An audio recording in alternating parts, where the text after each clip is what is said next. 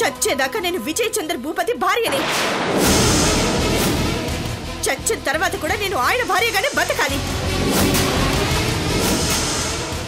నా బిడ్డ ఆయన కొడుకుగానే బతకాలి. వాడి పేరు ముందు ఈ ఇంటి పేరే ఉండాలి.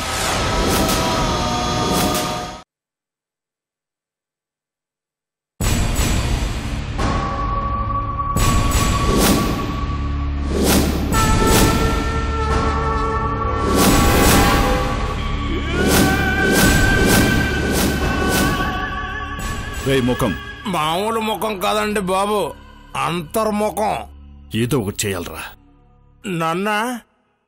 రై అసలే గుండె రగిలిపోయి ఉన్నాను. నన్ను కొంచెం గెలికావనుకో. ఆ మంట నీ చితికంటుకుంటుంది అంత కోపం ఎందుకండి బాబు? మనం ఫ్రెండ్స్ కదా. అన్నయ్య నా లైఫ్లో ఫ్రెండ్స్ అందరూ శవాలే ఫస్ట్ టైం శవం కాని ఫ్రెండ్ నువ్వే. నువ్వు కూడా కోపడితే అలా రై ఆ నందిని నా సొంతం అవ్వాలి లేదా పతనం అవ్వాలి ఇప్పటిదాకా నేను నాలా ఉండలేను. ఆ? నాలా ఉంటావా అన్నయ్య? రై హ! రై నాకు ఇంపార్టెంట్ సీక్రెట్ చెప్పావు కదని నాతో కూర్చొని ముందు కొట్టే ఛాన్స్ ఇచ్చాను. లీనియన్స్ తీసుకోకు. చంపుతా. లేదులే అన్నయ్య నువ్వు చెప్పు. చెప్పేదేమీ లేదురా. ఇప్పుడే వెళ్తాను. ఆ నందిని ఎలా నా సొంతం కదో చూస్తాను. ఫస్ట్ తప్పు నాదే. దానికి తెలియకుండానే దాన్ని పెళ్ళి దాకా తీసుకొచ్చాను. కావాలంటే దానికి వంద సార్లు చెప్తాను. ఇప్పుడు దాని అమ్మ బాబు అత్త టోటల్ ఫ్యామిలీ రికమెండ్ చేసిన నన్ను వద్దంటుంది ఏంటో దాని గొప్ప? ఒక్కసారి దాన్ని లాక్కుంటే లైఫ్ అంతా ఇస్తాను తీసుకోమని నా కాళ్ళ దగ్గర పడి ఉంటుంది. ఆఫ్టర్ ఆల్ ఆడది. అయితే నా సొంతం కావాలి లేదా శవం కావాలి. అంతే.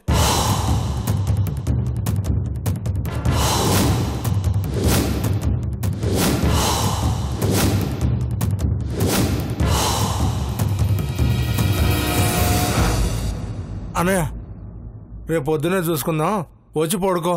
నువ్వు తాగేసున్నావు. అసలుకే మోసం అవుతుంది నా మాటేను. రై తప్పుకో.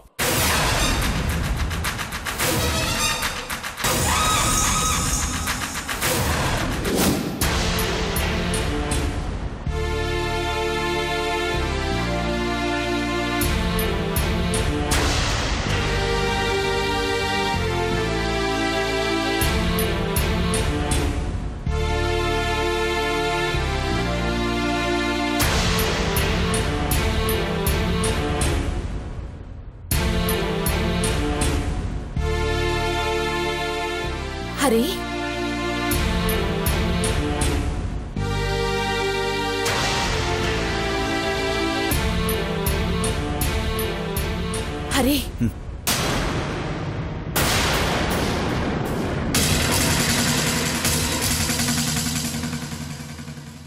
ప్రవళిక నిద్రపోలేదా? నువ్వు నిద్రపోవా? టైం చూడు ఎంత అవుతుందో రా పడుకుందు గాని. నాకు నిద్ర రావడం లేదు. వెళ్ళు ఎందుకు రాదు? వచ్చి పడుకుంటే అదే వస్తుంది. అయినా ఏంటి? నువ్వు ఈ మధ్య ఎక్కువగా ఆలోచనలతోనే గడుపుతున్నావు. మన బంధాలకి ఈ బాధలన్నీ అలవాటే కదా. కానీ నువ్వెప్పట్లా లేవు. ఎక్కడో ఉంటున్నావు. వద్దు. నిన్ను చూస్తుంటే నాకు భయమేస్తోంది. రా హరి వచ్చి పడుకో. నాకేం కాదు ప్రవళిక నా గురించైనా నేను ఆలోచించాలిగా? నేనేంటి? నా బతికేంటి? ఒక మనిషిగా గెలవలేకపోయాను. ఒక తండ్రిగా గెలవలేకపోయాను. ఆఖరికో బతుగా కూడా ఇక చేసిందేమీ లేదు. అసలు నేనేం చేశాను? చేం చెయ్యాలి? ఆలోచించుకుంటేనే నా మీద నాకే అసహ్యం వేస్తుంది. వదిలే. తన్ను కాస్త ఒంటరిగా వదిలే. నాకు ప్రశాంతత కావాలి. దాంతో నేను మాట్లాడుకోవాలి. తను నేను తిట్టుకోవాలి. వెళ్ళు. నందినితో నేను ఇంకోసారి మాట్లాడతాను. పదిసార్లు చెప్తే పదకొండోసారైనా ఒప్పుకోదా? వినదా? దాని గురించి ఆలోచించకు హరి. భారం నా మీద వదిలే. నేను చూసుకుంటానుగా. నీకు నమ్మకం ఉందా? నువ్వే అన్నావుగా. ఆ స్థానంలో జానికి ఉండుంటే తను ఎలా ఆలోచిస్తుంది ఇదే అలాగే ఆలోచిస్తుందని. ఎలా ఒప్పుకుంటుంది. ఒప్పుకోదు. కానీ ఏదో ఒకటి చేయాలి. నువ్వు కాదులే నేనే తనతో మాట్లాడతాను. నేనే చేస్తాను. ఏం మాట్లాడతావు? ఏం చేస్తావు? చేస్తాను. చేదో ఒకటి చేస్తాను. తన జీవితం బాగుండాలి. దానికోసం ఏదైనా చేయాలి. అప్పుడు కానీ నా కూతురు ఆత్మ శాంతించదు. తండ్రిని బాధపడుతుంటే నా బిడ్డ ఆత్మ కూడా బాధపడుతుంది. కాబట్టి నందినికి నేనే ఏదైనా చేయాలి. చేస్తాను. నువ్వు వెళ్ళు. నేను ఆలోచించుకోవాలి. నువ్వు వెళ్ళి పడుకో. సరే. నేను కూడా నీతోనే ఉంటాను. వెళ్ళి పడుకోమన్నానా? నీకే చెప్పేది. వెళ్ళి పడుకో.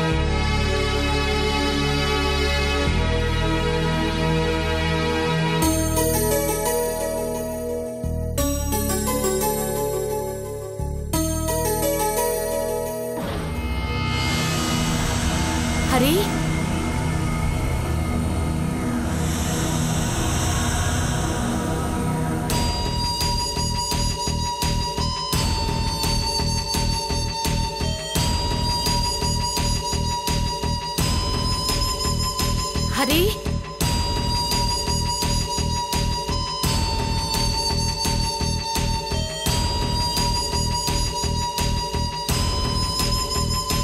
హరి? హరి?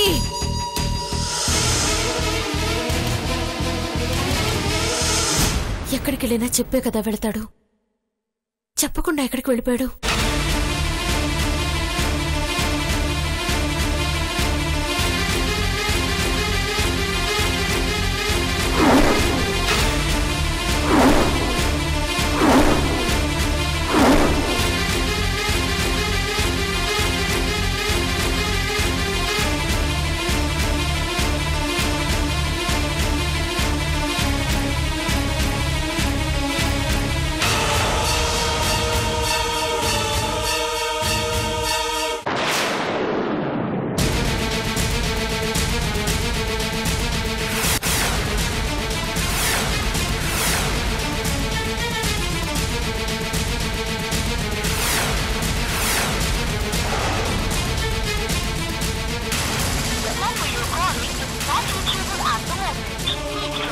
నందిని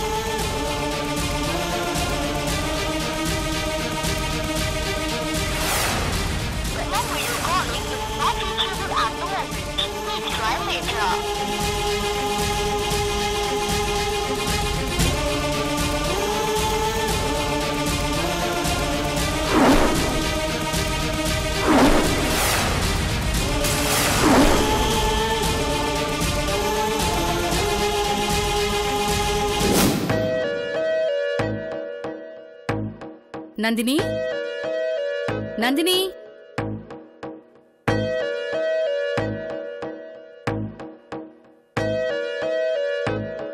నందిని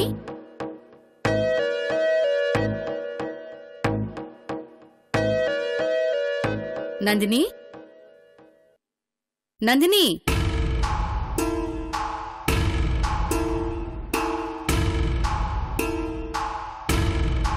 నందిని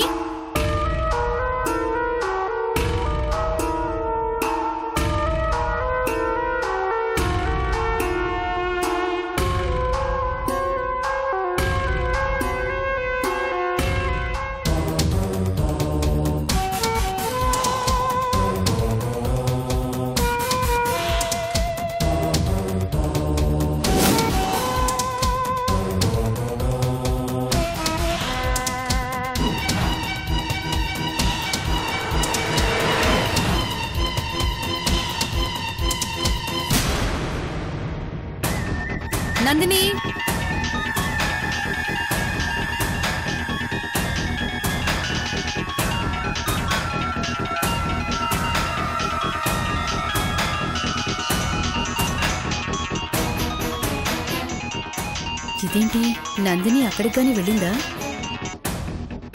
చెప్పొదినా హరి అక్కడికొచ్చారా? అన్నయ్య రాలేదే? ఏ ఇక్కడికి వస్తానని బయలుదేరాడా? లేదు. పొద్దున్నుంచి ఆయన ఇంట్లో లేరు. ఎక్కడికి వెళ్ళారో తెలియట్లేదు. ఫోన్ కూడా నాట్ రీచబుల్ అని వస్తోంది.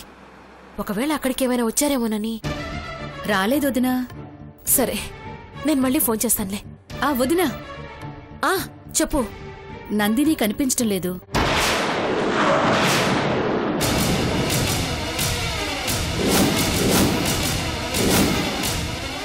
ఏంటి? నందిని కనిపించట్లేదా? అవునదినా ఇల్లంతా వెతికాను. ఎక్కడికెళ్ళిందో ఏంటో. కంగారుగా ఉంది. ఫోన్ ట్రై చేసావా? తను ఫోన్ కూడా ఇంట్లోనే వదిలి వెళ్ళింది. పక్కింట్లో వాళ్ళని అడిగావా? లేదు అది బొట్టు తీసిన దగ్గర నుంచి గడప దాటటం లేదు. నాకెందుకో చాలా భయంగా ఉంది. నువ్వేమో అన్నయ్య కూడా కనిపించటం లేదు అంటున్నావు. ఏం జరుగుతుందో అర్థం కావటం లేదు. ఒకేసారి ఇద్దరు కనిపించకుండా పోవడం ఏంటి? సరే నేను ఇప్పుడే అక్కడికి వస్తాను. ఇద్దరం కలిసే వెతుకుదాం. త్వరగా రా.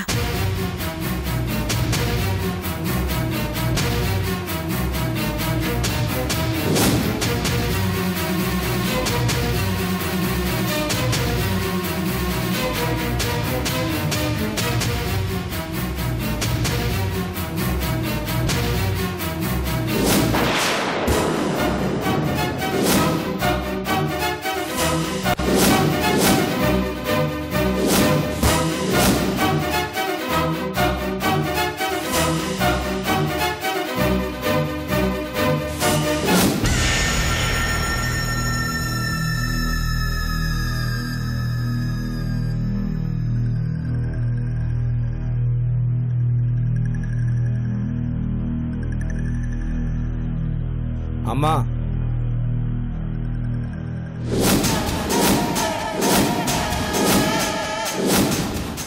నువ్వా? మళ్ళీ ఎందుకు వచ్చావురా? బయటికి పో. అది కాదమ్మా మరి ఏంట్రా మరి? బయటికి పో.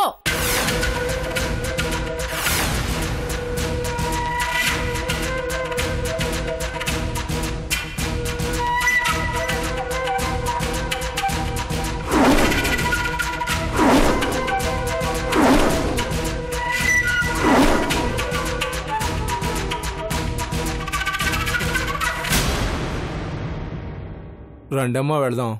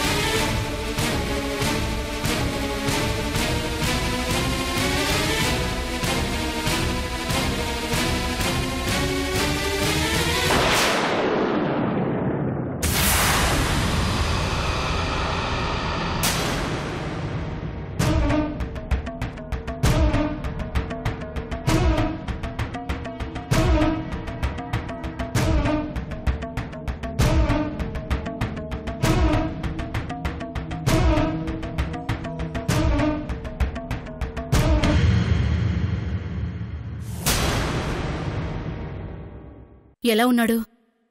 డాక్టర్ గారు చూస్తున్నారు. చెప్తారు. వెయిట్ చేయండి.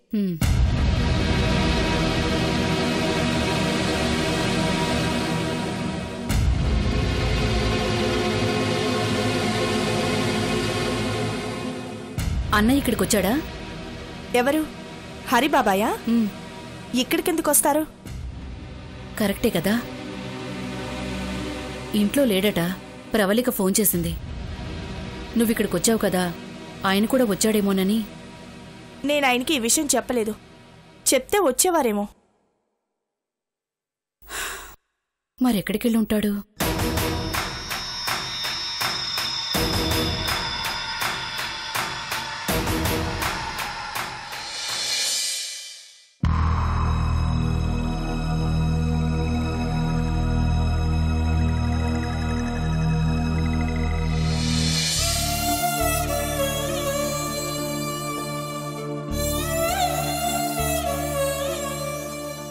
ఏంటి హరి?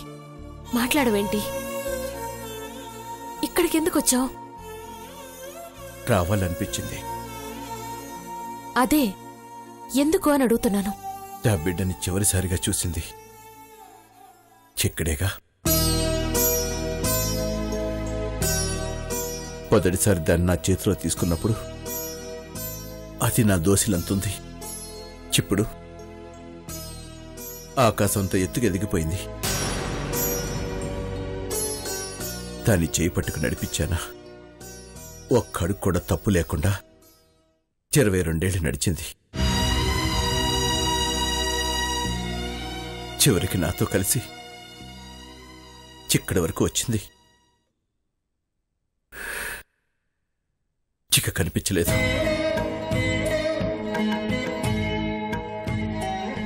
అందుకే వెతుక్కుంటూ వచ్చాను.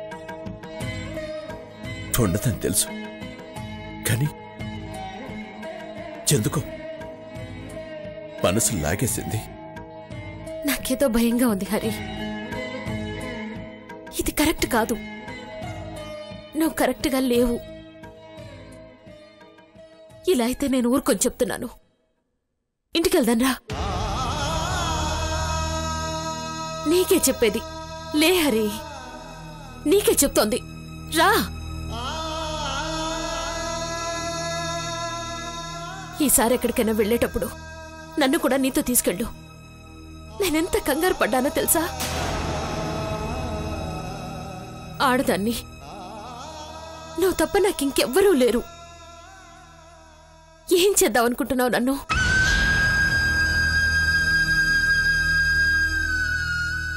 పోయిన వాళ్ళ గురించే కానీ ఉన్న వాళ్ళ గురించి ఆలోచించవా? నువ్వు నా గురించి ఆలోచించాలంటే నేను కూడా పోవాలా? చెయ్యి చేంట మాటలు. మరైతే ఇంటికి వెళ్దాన్రా లే.